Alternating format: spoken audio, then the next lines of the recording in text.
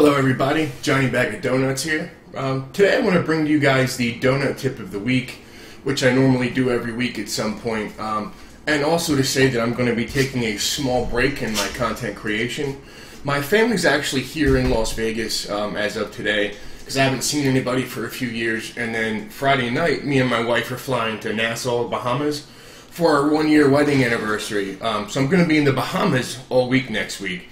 So the videos will resume, uh, you know, back in full gear after I get home from the Bahamas, but it's going to be about a week and a half slash two week break.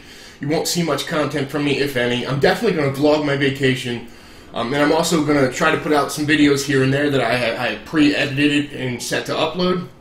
We'll see how that works.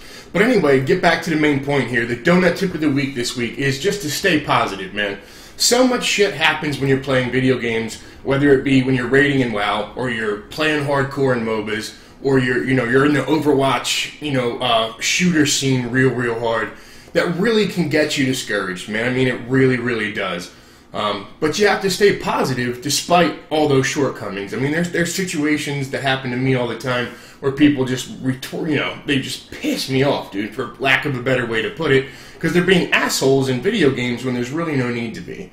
Um, you know, shit like that. Like, I don't get it. And on the same note with stay positive is, you know, don't take yourself too seriously. So, if there's some asshole that you're raiding with that decides to kick you out of the raid because you accidentally pulled a trash mob that it took you half a second to kill, you know what? That fucking guy's probably got a really small dick and he hates himself.